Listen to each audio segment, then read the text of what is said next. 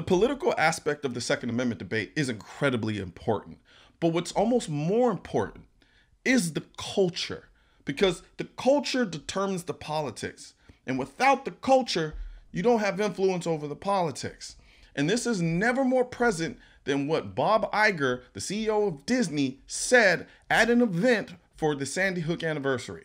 During his remarks, Iger said that preventing shootings before they happen should be among our highest priorities. He went on to say that as a grandfather, as a father, and as CEO of the Walt Disney Company, I believe there is no greater or more important task than ensuring the safety and well being of our children. The Hollywood Reporter stated that regarding gun control, Iger added, quote, those of us who are in positions to affect change, whether it's the influencing by influencing laws of shaping culture or supporting organizations on the front lines, I think we have an, ex- an extra responsibility. I want you to keep in mind that is the same guy who is the CEO of a company that by and large has a large influence on your kids. They are attacking the culture. I always said that the, the anti-gun lobby or the gun control lobby, they don't just play the game from one perspective. They attack the political and they attack the cultural because they understand how important the cultural is to the political and vice versa. So they go out of their way to make sure that they not only push hard on the politics, but then start almost grooming the minds of the young to find the Second Amendment to be less important.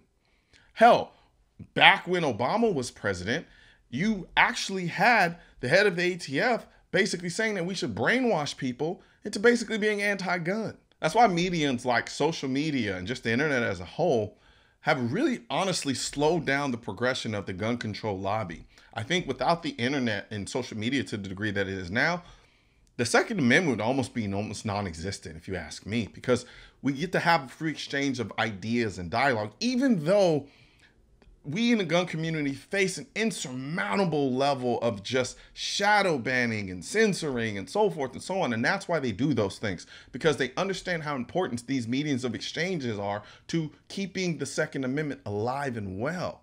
Because we get to have those conversations with people who are coming from different generations and may not have been taught this information because the school systems don't want them to know this information because they rather they rather these kids feel like the second amendment is really not that important. You see it when you go to some of these rallies and you watch some of these videos where people ask them questions about the second amendment and whether or not it's important and they literally kind of like we can live with it or we can live without it. And their only understanding their only experience with firearms comes by way of school shootings that keeps pushed that keeps getting pushed down their throats over and over and over again by the media. So when you have a generation that grows up only experiencing guns from a negative perspective and never being taught the genesis of why we have the Second Amendment and what it actually means, and no, it doesn't mean hunting, of course they're going to look at the Second Amendment and say, well, yeah, we can do away with that. So then when these gun control lobbies come in and say, hey, we want to ban this scary looking rifle, I'm like, yeah, we'll do it. And now they're in a position to do it because now they're old enough to vote. So now they're voting for things that are against their self interest. And it won't be until they're older and then they realize, oh my God, we voted all our rights away. Now there's nothing they can do about it. They can't get it back. But what we can do now, what we can do now is utilize the medium of exchange that we have by way of the internet and inform these people, inform these kids, inform the people in the middle sh- by sharing videos like this so that they understand the importance of the Second Amendment. Because even though we have access to unlimited information now, a lot of people don't know history. A lot of people don't know about how gun control actually started, how it was actually meant to keep guns out of the hands of undesirables. All of these people like the CEO of Disney, Barack Obama, all of these all of these big wigs and top exec individuals, they're not worried about the Second Amendment because they can hire people to protect them.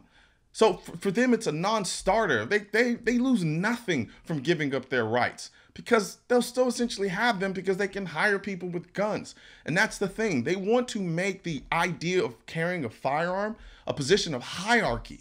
Everybody can't do it because it's not really about being anti-gun. It's about being anti-gun for you and I. Only the people at the top should be able to have access to firearms in their minds. That's the way they think.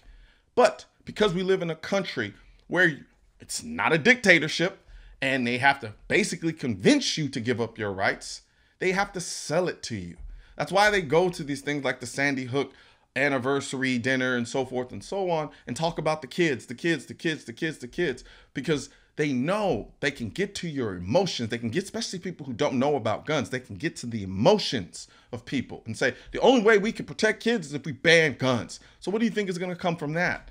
You're going to have the CEO of Disney pushing out content that's designed to teach kids how to not like firearms and teach kids that firearms are inherently evil instead of educating kids about firearm safety and how the importance of firearms was a big part in how this country was founded and how it's a big part of how this country will be maintained as far as freedom is concerned. No, what they're doing is they're trying to raise a bunch of controllable sheep. That's what they want to do. And they hide it under the guise of protecting the kids. So when I say the Second Amendment is under a cultural war, that's exactly what it is. So have those hard conversations. Share videos that explain what the Second Amendment is about. Share videos about particular laws that are coming down the pipeline that break down why these laws are not actually a good thing. That's the only way we're going to win this. The political side of the battle is incredibly important, but I tell you, you can win the political and lose the cultural and lose the war. But if you win the cultural and lose the political, you could still win the war because the cultural, by and large, determines the political. And if the political doesn't align with the culture, the culture will rise up. And that's the last thing they want from the political. Speaking of culture, you know, right now there's a culture war against the Second Amendment. That's why I need you to share this video. That's why I need you to like and comment on this video so that it becomes favorable to algorithms and it reaches more people. I hear people say this all the time. It's like, oh, well, your videos are awesome and they're great, but it's preaching to the choir. No, it's only preaching to the choir if you don't share the video. It's only preaching to the choir if you don't like the video. It's only preaching to the choir if you don't subscribe to the channel. Because what it tells the algorithm is that we need to push this forward. Another way you can do this also is indirectly by uh, heading over to shop.mrcolionnoir.com and getting some of your uh, Pew Pew Life merch. Uh, you know, it's a kind of an indirect way of starting a conversation with people to have this conversation. People ask you, what is that? What does that have to do with anything? And then you can break it down to them and let them know what the Second Amendment is all about. Right now, there's a culture war against the Second Amendment, which is why I need your help spreading our message to counter their message. You can help do this by leaving a comment, sharing this video, and click the bell and subscribe button. Let my voice be your voice and let them know you want to keep America tactical because the right to keep and bear arms shall not be infringed wasn't a suggestion, it was a directive.